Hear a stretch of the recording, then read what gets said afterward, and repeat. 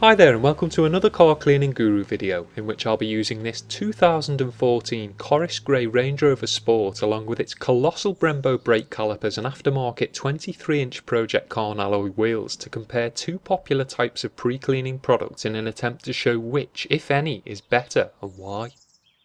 The Rangy wasn't quite as dirty as I'd hoped for on arrival, which is understandable considering it's generally well looked after and that winter road salting hasn't yet commenced here in the UK. However, there was just enough unsightly brake dust, road grime and other surface contaminants sitting on the lower areas of the vehicle for me to at least make some comparison between the two and ask which is the better pre-cleaning product, snow foam or traffic film remover.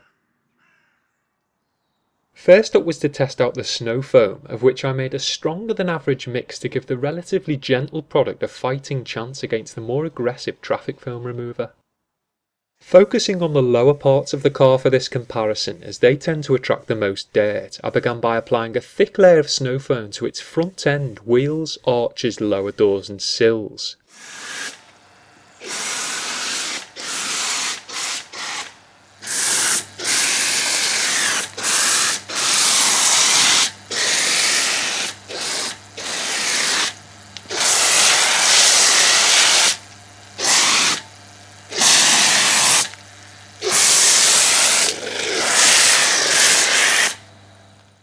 Before leaving it to soak on the surface for a good 5 minutes to allow it to soften up and break the bond between as much of the dirt and surface contamination as it possibly could.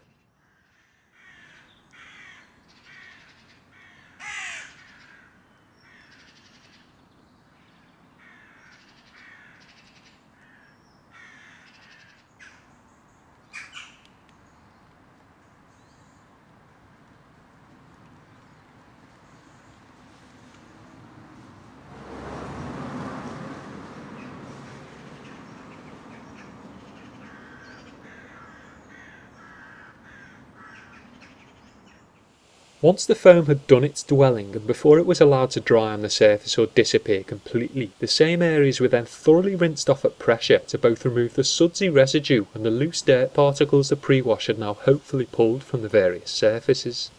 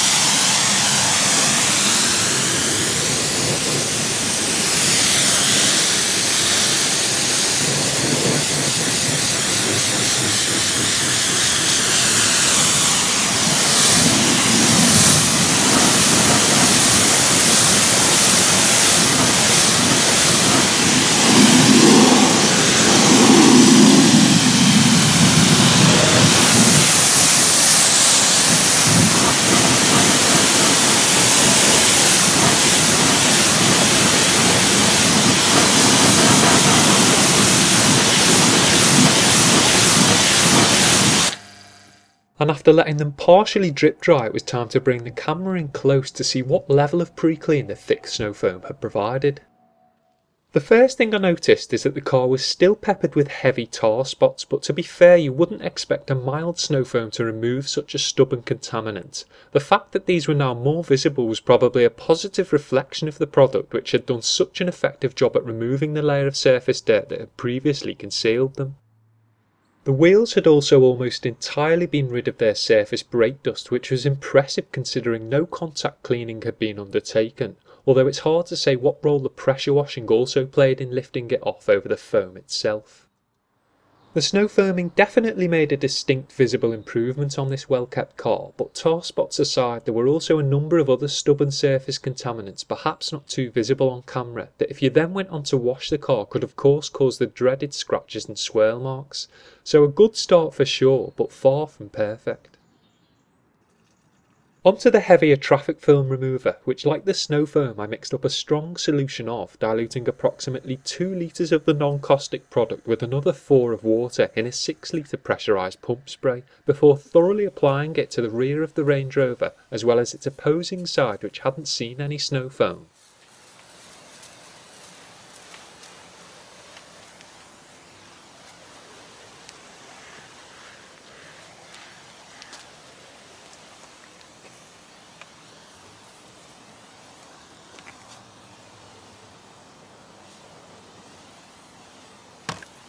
Strangely, I find applying a traffic film remover a far more satisfying activity than snow foaming a car, perhaps due to the precise manner in which it can be sprayed into various nooks and crannies with the lightweight wand.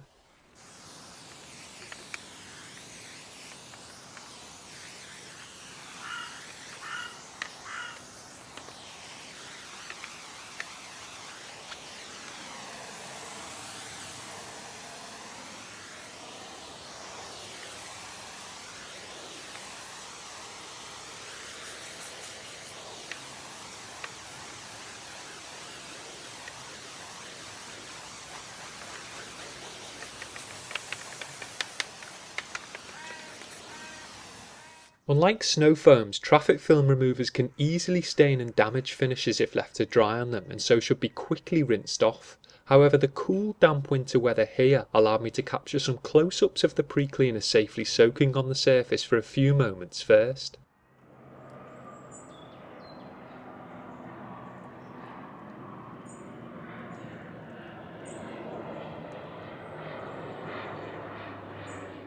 Rinsing a traffic film remover off at pressure serves not only to remove its potentially harmful residue in the dirt it has penetrated, but also activates its ingredients and so it's important to do a thorough job ensuring all areas are methodically covered from top to bottom.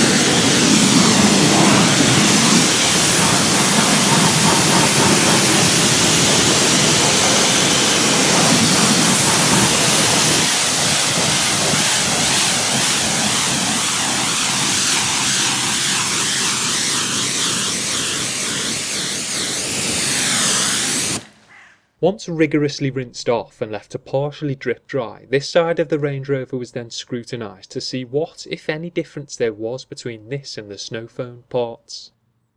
Again, a number of tar spots remained, although unlike snow foams, traffic film removers can sometimes serve to soften up tar, which then makes its subsequent removal a little easier. Brake dust was now non-existent, and the shadow chrome finished wheels concealing the red Brembo brake calipers now appeared as if they'd had a proper clean without actually having received any direct contact washing. While the rest of the body treated with the traffic film remover looked very presentable and arguably slightly cleaner than the areas attended to with the snow foam.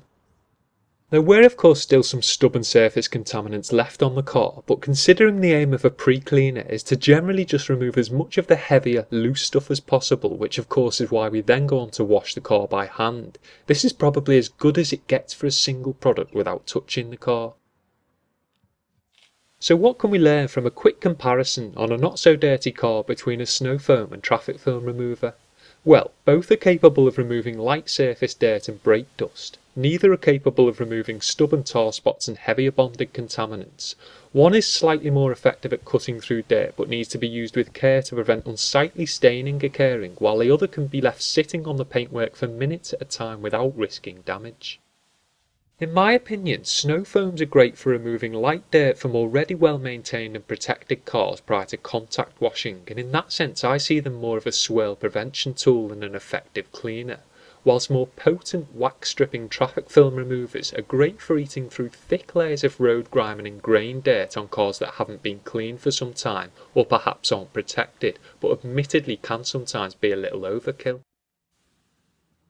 Put simply, cars that I've previously detailed and maintained on a regular basis I'll go with a snow foam, whereas cars that are new to me or are deeply ingrained with dirt I'll use a traffic film remover. If in two minds, however, I'll use both, reserving the stronger traffic film remover for the wheels, arches and lower third of the body first, with the snow foam then being blanketed over the top to cover the rest of the vehicle. This will also serve to extend the drying time of the TFR a little so you don't have to then rush the rinsing. As always, thanks for watching, hope it was helpful, feel free to leave any suggestions or constructive criticism in the comments below and I'll be back soon with some winter car cleaning words of wisdom.